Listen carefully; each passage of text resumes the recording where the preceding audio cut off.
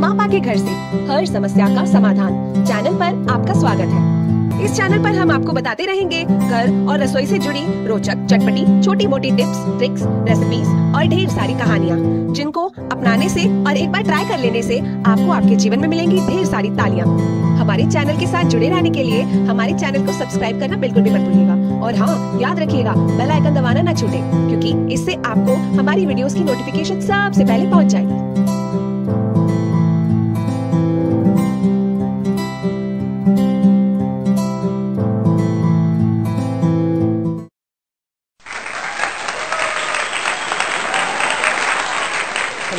कैसे हैं आप सब?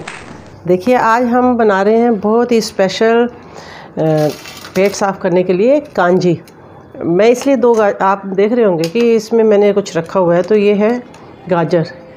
रेड गाजर तो आप सारे जानते ही हैं।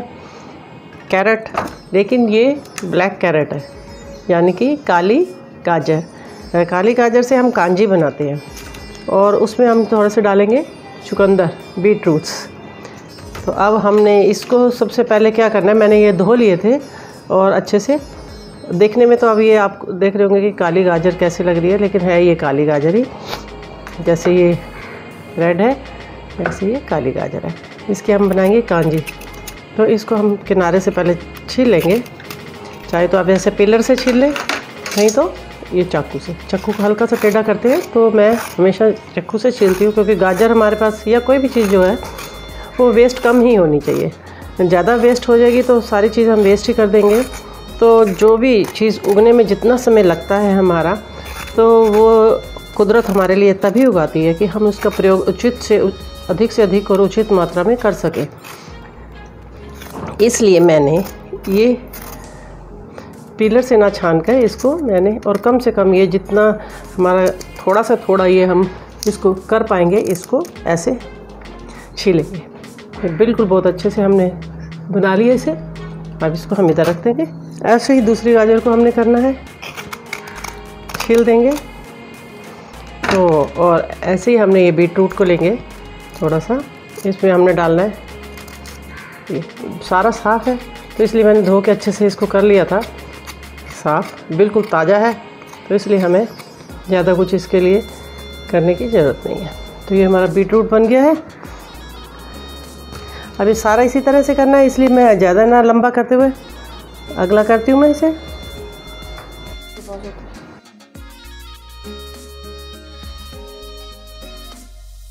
तो ये देखिए, अब हमने बना लिया है, छील लिया ये गाजर, ये हमारी आधा किलो, यानी हाफ़ के जी गाजर है।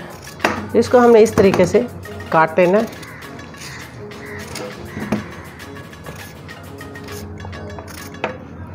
और आपको एक चीज़ और बता दूँ, जब गाजर का ये कांजी बनती है तो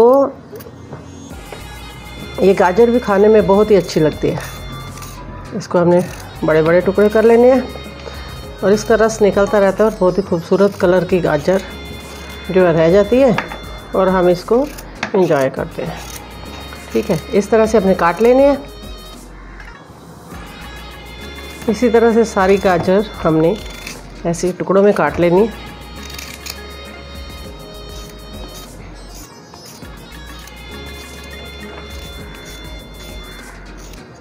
आपने ये देखा होगा कि इसका कलर और बीट रूट का कलर लगभग सेम होता है। पेट साफ़ करती है ये और बहुत ही शरीर को ठंडा रखती है, हाजमेदार होती है, लू से बचाती है हमें। इसका जो भी हम बना रहे हैं, कांजी, उसको बोलते हैं कांजी। काली गाजर की कांजी। ये मैंने इसलिए कहा कि आजकल के मौसम में काली गाजर काफ़ी मात्रा में आ रही है। काली गाजर कुछ ही समय के लिए आती है। हमारे पास मौसम में तो आप इसी मौसम में इसको काली गाजर को ख़रीदें और कांजी बना के उसका स्वाद लें, ताकि फिर आपको हमेशा इंतज़ार है कि यार अब कब गाजर आएगी और कब हमने कांजी पीनी है। इसका जो टेस्ट है वो ही बहुत अच्छा होता है। इस तरह से हमारी ये सारी गाजर कट गई। हमने ये चुकंदर भी, जो बीट रूट है, वो भी काट लेना। देखा आपने कलर थोड़ा सा ही फ़र्क है इसका। ये ब्लैक कलर में है और ये हल्का सा रेडिश है। आपको पता है, जो चुकंदर है, उससे खून बढ़ता है, खून साफ़ होता है। गाजर से भी, काली गाजर से हमारा खून साफ़ ही होता है। और भूख भी तेज़ होती है, हाजमा बढ़ता है। आपका दिल ख़राब हो रहा है, गर्मियों में कुछ नहीं खा रहे तो आप एक गिलास ये लें, खाली रोटी लें और उसको भी आप इससे खा सकते हैं। तो ये हमने पूरा काट दिया इसको, और मैंने अब ये एक कांच का जार ले लिया। उसमें हमने बनाना इसे। पानी मैंने उबाल लिया है और इसको अब हम ठंडा करेंगे। जैसे ही हल्का ठंडा हो जाएगा, कांच के जार में जाने डालने लायक हो जाएगा, तब हम इसमें कांजी बनाएँगे।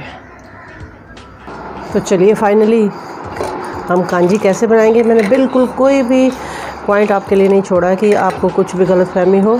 तो मैंने ये सबसे पहले आपको दिखा दिया कि मैंने पानी बॉईल किया था। अब उसको मैं ठंडा कर रही हूँ। हल्का ठंडा करने की आवश्यकता इसलिए है क्योंकि कांच का जार है। कांच में कभी कोई बहुत ज़्यादा गर्म चीज़ नहीं डालनी चाहिए, ना ही एकदम ठंडी डालनी चाहिए, क्योंकि कांच का बर्तन टूट जाता है। तो ये देखिए, इसमें हमने थोड़ा सा पानी डाल दिया।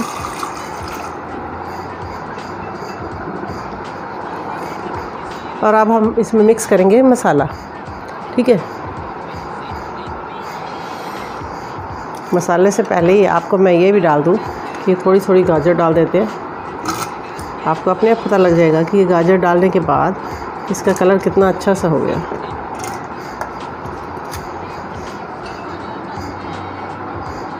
तो कांजी में जो सबसे ज़रूरी चीज़ है वो है राई।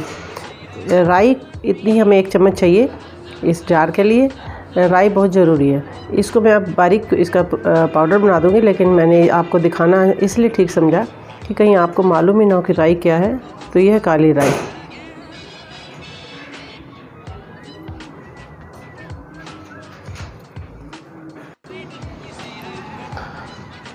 तो मैंने ये जो है, राई पीस ली है। राई वो है जो कि अचार में डलती है, गाजर के अचार में भी डलती है। ये मैंने डाल दिया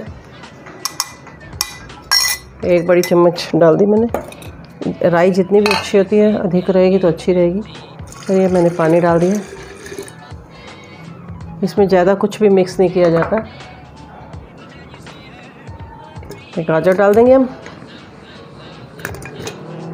और चुकंदर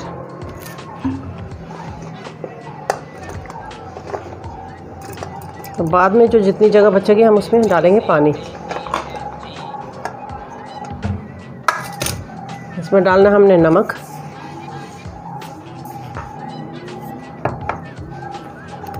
काला नमक। काला नमक डाल दिया। काली मिर्च डाल देंगे, थोड़ी सी। लाल मिर्च, रेड चिली चूर डाल देंगे।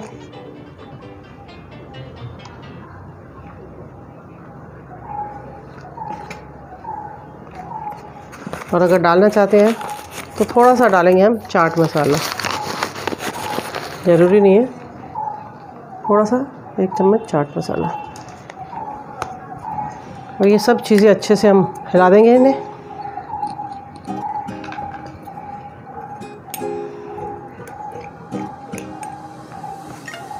और पानी से हम इसे देंगे अब भर।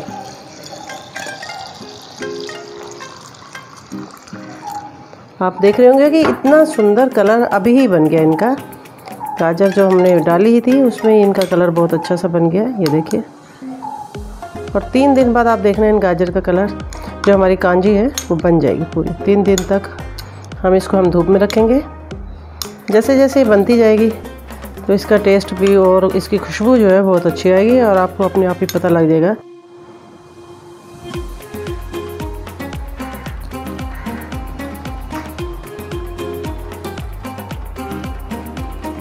ये देखिए, धूप में रखते ही गांजी का कलर चेंज हो गया। ये हमें तीन दिन के अंदर हम इसको पी सकते हैं। लेकिन जैसे जैसे हफ़्ता के करीब हो जाएगा तो ये हमारी गाजरें भी गल जाती हैं तो इसको गाजर को भी उसके साथ खाते हैं और नींबू डाल के। हमने चार दिन बाद ही ये कांजी बना को चेक करने के लिए देखें कांजी बनी है या नहीं बनी है तो ये हमने धूप में रखी हुई थी। चार दिन बाद हम कांजी को इसको चेक कर रहे हैं।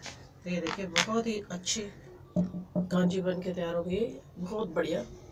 अब इसको कैसे प्रयोग करना है, इसकी खुशबू बहुत प्यारी थी तो हमने इसमें से पहले तो ये ये देखिए, उनको साइड पे रख देती हूँ मैं और कांजी आपको पहले नज़दीक से दिखा दूँ कि कांजी कैसे दिख रही है।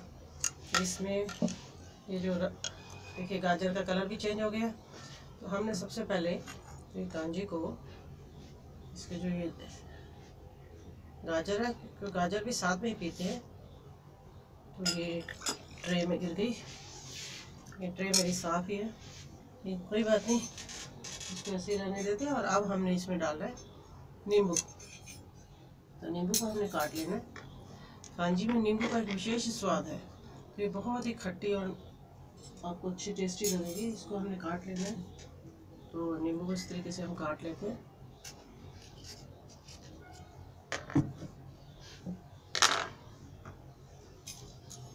चाहे तो आप इसके ये हाथ से कर सकते हैं इसको।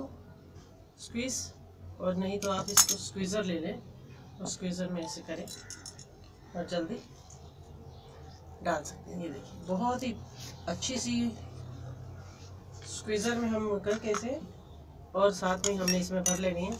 कांजी, ये देखिए, इस तरीके से।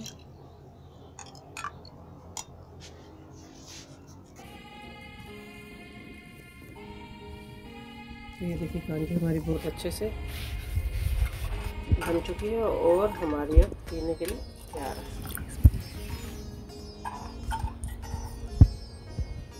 आप भी ये कहेंगे कि हमने ये पहले नहीं बनाई।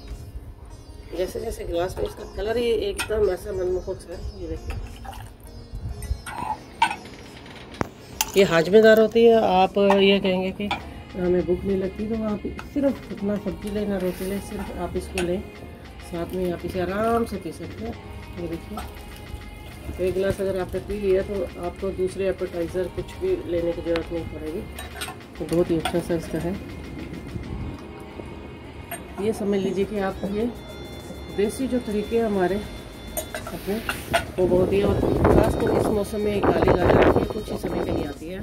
तो इस तरह से आपने गाजर ये इस्तेमाल करनी है। और देखिए अगर आपने इसको सजाना है तो इसको इस तरीके से हम सजा सकते हैं। बहुत ही अच्छे से। तो कहते हैं कि जो चीज़ देखने में अच्छी लगेगी, तभी आदमी अट्रैक्ट होता है।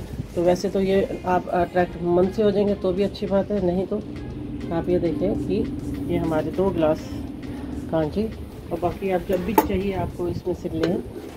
अब इसको धूप में रखने की ज़रूरत नहीं है। आप जब भी पीना चाहें इसमें डालें नींबू और ले सकते हैं।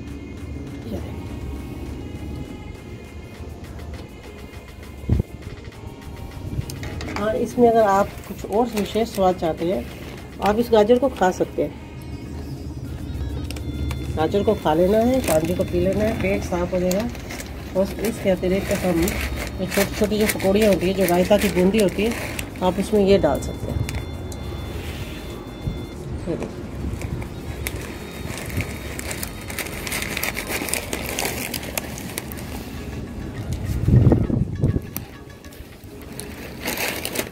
तब मैंने आपको ये दिखा दिया कि आप दो तरह से कांजी को ले सकते हैं। नींबू डाल के तो लेंगे ही, साथ में इसमें रायता की बूंदी डालेंगे तो भी बहुत अच्छी लगेगी। और अगर आप बिना बूंदी के पी सकते हैं तो वो भी आपको अच्छी लगेगी। आप इसे कुछ दिन और रखेंगे तो ये थोड़ा सा स्ट्रॉन्ग सा हो जाता है, काफ़ी खट्टा ज़्यादा हो जाता है। तो इसके लिए आप इसमें जब भी पीना हो तो नॉर्मल वाटर पानी आप मिला सकते हैं। जिससे आपको इसका ज़्यादा खटास भी नहीं लगेगी और आपको खट्टा ज़्यादा लेना है तो इसमें नींबू डाल लें। और अगर नॉर्मल पीना है तो आप इसमें खाली पानी मिलाकर पी सकते हैं। तो मुझे आशा है कि ये कांजी बनाने का तरीका आपको अब आ चुका है और आप इसे अपने रिश्तेदारों में और अपने जो भी आने वाले प्यारों को बना के पिलाएँगे तो वो आपकी तारीफ़ किए बिना नहीं रहेंगे। क्योंकि तो इसके बाद भूख भी बहुत ज़ोर से लगेगी भाई। तो इसी के साथ ही आप खुश रहें take care bye bye God bless you okay bye मिलते हैं फिर। अगर आप हमसे कुछ कहना चाहते हैं तो कमेंट सेक्शन में ज़रूर बताएँ। इस वीडियो को अपने दोस्तों के साथ ज़रूर शेयर कीजिएगा, ताकि ये जानकारी उन तक भी पहुँच सके। For more such content please subscribe to our channel and don't forget to press the bell icon for more updates thank you